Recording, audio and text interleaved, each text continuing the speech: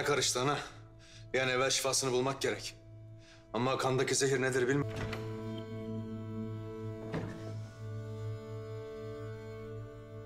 Ben Holofya'yı tanırım. Ama herkesin ailesi sizin gibi değil. Ben anamı sus... Ben de senden beklemezdim.